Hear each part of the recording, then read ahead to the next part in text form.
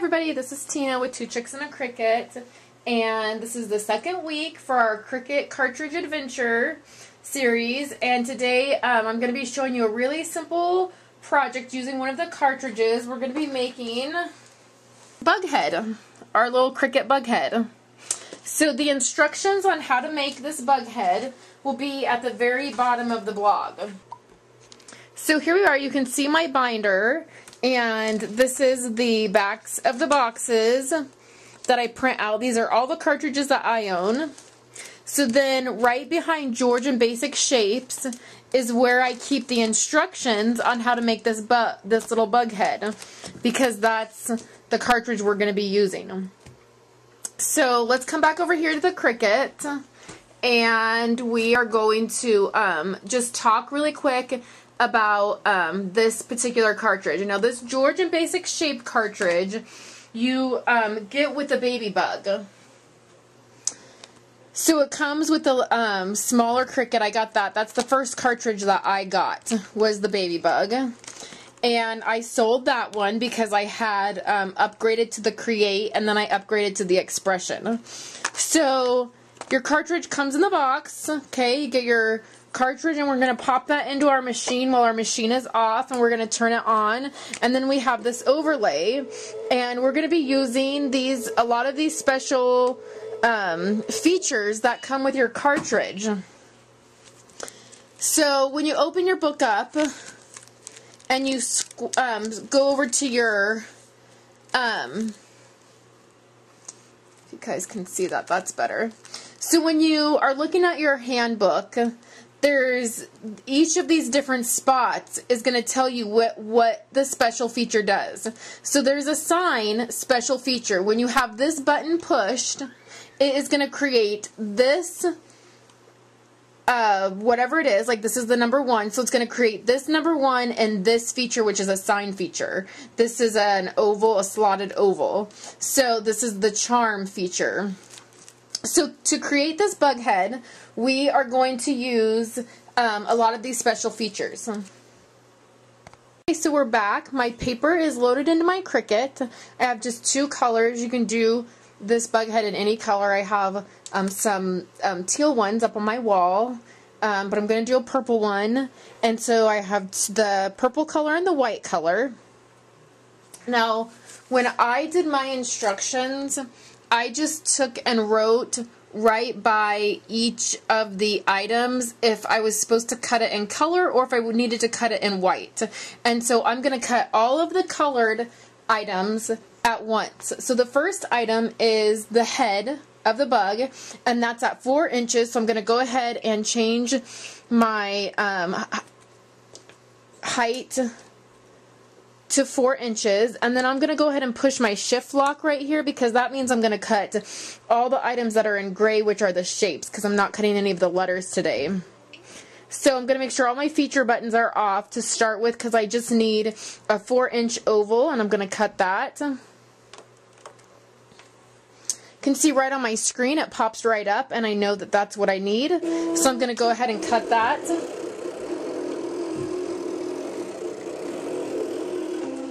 The next shape I need is I need two um, circles cut with shadow cut with my shadow feature. So most cartridges have the shadow feature on them as one of the special features. So I'm going to go ahead and hit shadow feature. I'm going to drop this down to two inches and I'm going to cut two circles. It'll pop up circle. You can always double check right on your screen. So that's going to cut and then the very next thing that I'm going to need in color is I'm going to need the um, smaller part of the eyeball and we're going to use our sign feature. Now this is a great cartridge um, to have because when you um, cut any of the items using your sign feature, it's going to cut that image even smaller than your dial size because it's in proportionate to this entire sign. So that's the other thing you want to recognize when you get your cartridges. There's a real dial size um, button and that's because all of the items are proportionate to one image on the cartridge. Now, you can usually look in your handbook and like this uh, handbook, this cartridge, all the images are um, in proportionate to this G. So it will, if you want exactly two inches or exactly four inches, you need to push your real dial size. So I'm going to go ahead and hit my sign feature and I'm going to cut the insides of my eyeballs um, using my sign feature at one inch and I'm going to need two circles. So I'm going to go ahead and cut that.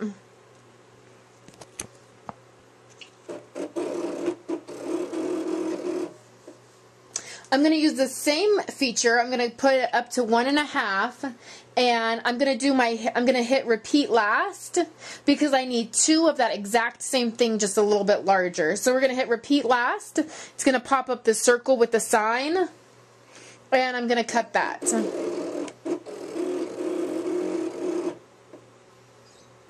So now for my um, feelers, I'm going to need a circle silhouette and an over oval silhouette at four inches. And I actually, um, I'm going to cheat a little bit so I can save paper. And I'm just going to use um, a silhouette of a circle and I'm going to do both feelers. So this is the silhouette button. So you're going to hit the silhouette button. I'm changed to four inches and I'm going to hit a circle because I think I can make it work and I'm going to cut that. Next, we're going to cut all of our white pieces, and then we're going to put this together. So I moved my blade, I moved it down to my white, and now I'm going to cut, um, on silhouette still, I'm going to cut a moon shape at two inches.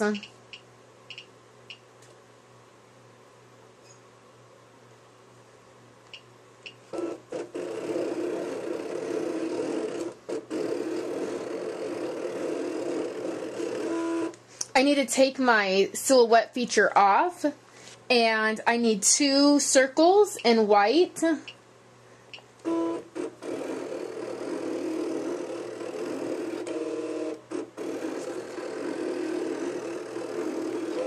and that's all I need in white.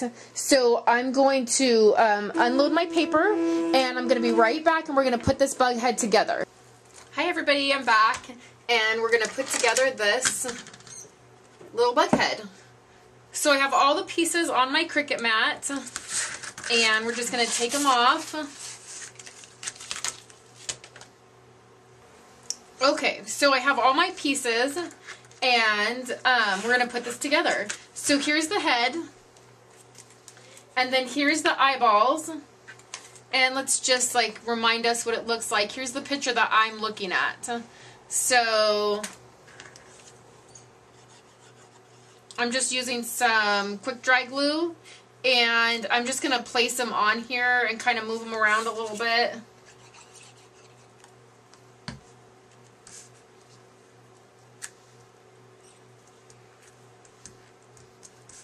And then these are the insides of the eyeballs.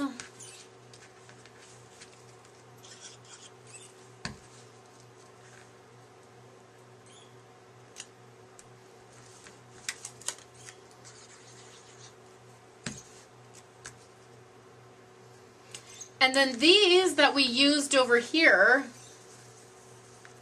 for when we used the sign feature, these are going to be the insides of the eyeballs. So put a little glue.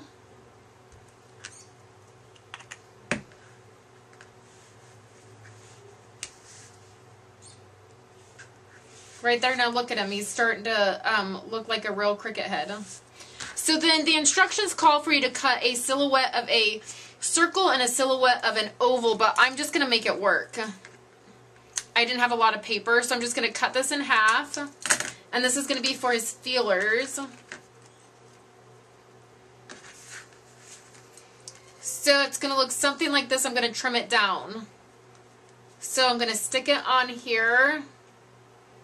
Kind of the oval, the purpose of the oval is because it kind of sticks up a little bit more.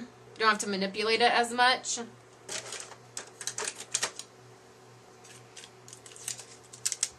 But it doesn't have to be perfect, right? So I'm just sticking a little tape. That's going to be the easiest.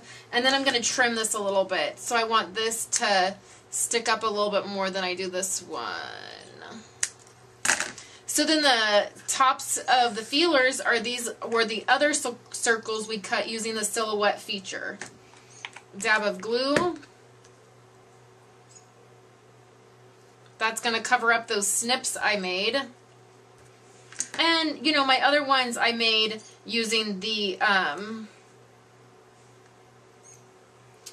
using the, the how it says on the instructions. Like I cut an oval and a circle.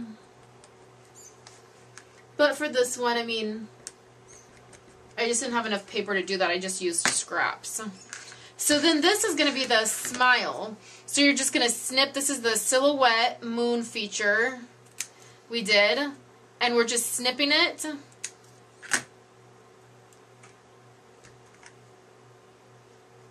Adding a little bit of glue. And that's going to be his mouth.